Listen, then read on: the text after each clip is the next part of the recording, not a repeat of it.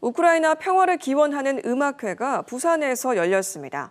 한국 남부발전 강당에서 열린 음악회는 우크라이나 교민들을 위로하기 위해 우크라이나 현악 사중주 리베르테 콰르텟을 특별 초청하고 부산 지역 예술인과도 협연했습니다.